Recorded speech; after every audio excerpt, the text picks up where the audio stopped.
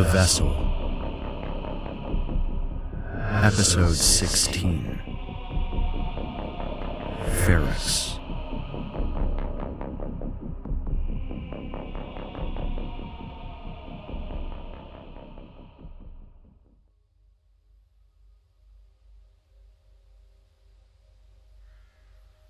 Will Miller loved his family.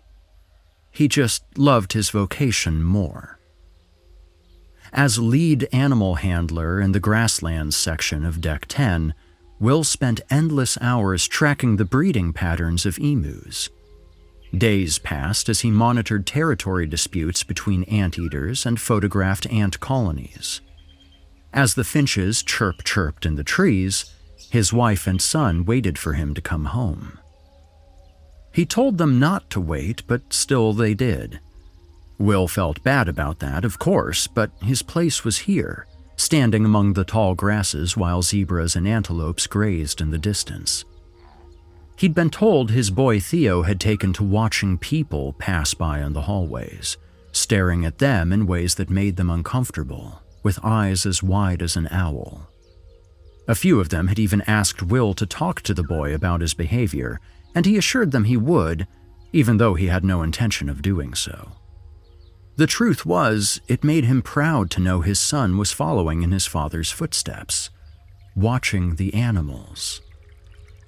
A pair of white tailed deer drank from the small stream that ran through the grasslands. Like everything else on the Ark, the stream was a lie recycled water pumped in by hidden pipes and kept free of bacteria by carefully monitored levels of biochems.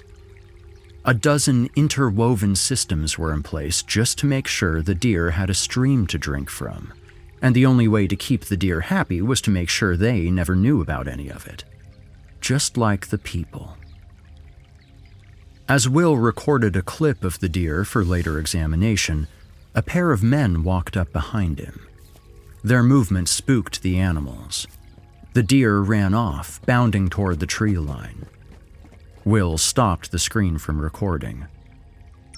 If Haas sent you, tell him to screw off, he said without looking, right after you screw off. Excuse me?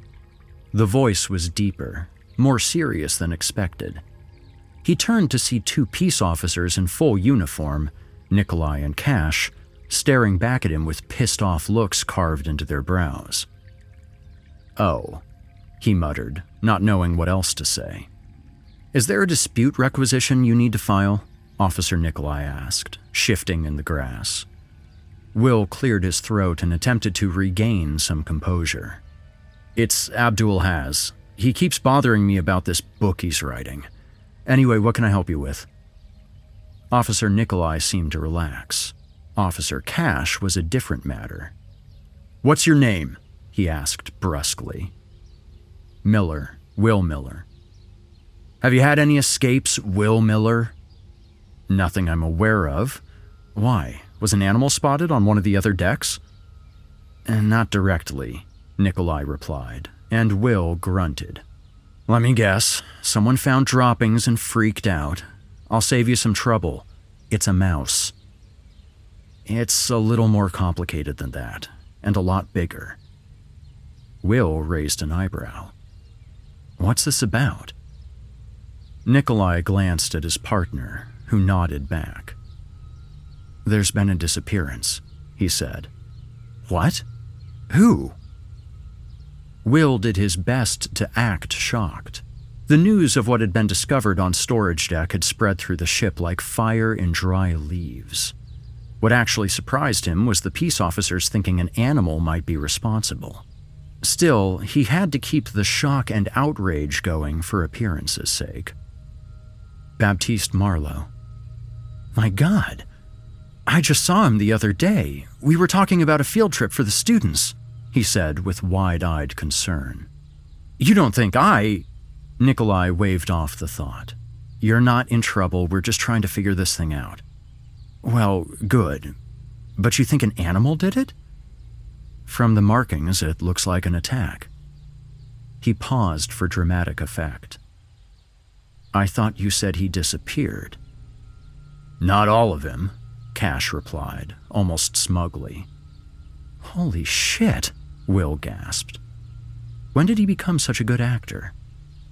So, this is a murder investigation? Nikolai and Cash glanced at each other. It's an inquiry. There's never been a murder on the Ark. And there still hasn't, as far as we're aware. Like we said, it looks to be an animal. Even if Baptiste is dead, which he isn't, animals don't commit murder, last I checked. Will's eyes searched the trees for answers. But how do you know? What if we're living with a killer? We're wasting our time. Officer Cash, clearly growing impatient, pulled up a photo on his screen and showed it to him. In it, a badly damaged human arm sat in a pool of its own blood. Do you know what animal could have done this? The sight made Will gag, no acting necessary. As he spit up into the dirt, he heard Officer Nikolai chastise his partner. He's the animal expert, he should know what they're capable of, Cash shot back. You can be a little nicer about it. It's an inquiry, not a nice chat over tea. Will wiped his mouth and straightened himself up. He heard an owl hoot nearby and thought of his son. It's fine, you just caught me off guard. He asked the officer to see his screen so he could get a closer look. In his hands, he studied the image closely. Those are claw marks, he said, genuinely surprised. Large ones. Officer Nikolai nodded. That was our theory as well. Do you have any animals that could do something like that? What, here? No, no chance. Whatever did that is extremely dangerous. We wouldn't be stupid enough to breed an animal like that. Officer Cash snatched the screen back. This is an ark, isn't it? I thought we had two of everything. Will wanted to tell the officer how much of an idiot he was, but decided against it. Do you see any elephants walking around the ship? he asked. How about humpback whales? Whales don't walk, Cash replied proudly. Will took a breath and steeled himself to deal with the uninformed moron. 99% of the life on board is in a glass vial, he explained. The environments are more for education and study than anything else, like a museum where you occasionally get to eat the exhibits. He turned to Officer Nikolai, the smarter of the two by a thin margin. Which means, unless someone is cloning apex predators for the fun of it, there's no way anything capable of that is on this ship, he said, pointing to the screen. The taller officer seemed to understand. We need to check the gen labs. They're closed right now, Will said. Tomorrow, then. Thank you for your time, Mr. Miller. Of course. Good luck catching whatever that is. I just hope that guy is okay. So do we, the officer replied. They thanked him again and left him to his work. Will watched them go, listening to the grasshoppers play their wing songs in the fake sun. Then he took out his screen to make a call. The others needed to know about this.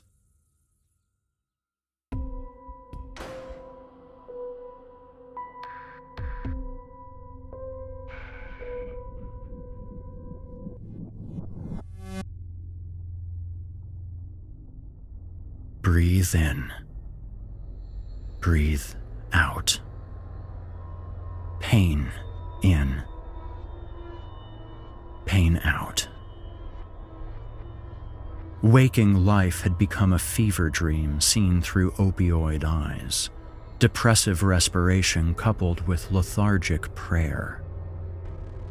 All those words clearing the pathways of phlegm and blood Fear tolerance reduction accomplished via vein scraping, followed by anticoagulant baths and physical trauma to inspire myocardial bifurcation. All those words. Hand eye coordination via electrolocation. Local brain death, embolus, and revival via excitation blood type incantations, and an end to outdated musculature. All those words. Psychotropic insufflation and toxic stimulation. Breathe in, breathe out. Pain in, pain out. Fight or flight response had surpassed surgical pain threshold. Infarction laughter successfully controlled by alternating current. Specialized distortion fields. Burst duration coders grafted to thermoreceptors. Sympathetic ossification and somatopic remapping. Chemically inspired genetic drift. Strongly urged polydactylism leading to manic meiosis. Violent recombination. Sacrificial rites of the Sen ancestors. All those words were a thunder that shook Baptiste apart. The mind was lost, but the brain lived on. Breathe in, breathe out. Pain in, pain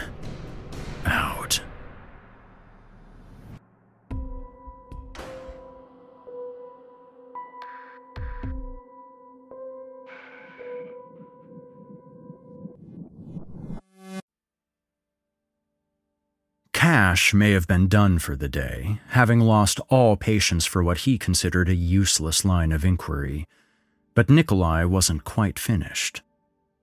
There was one more opinion he wanted, one final bit of input from the live animal angle before he started looking into the gen labs.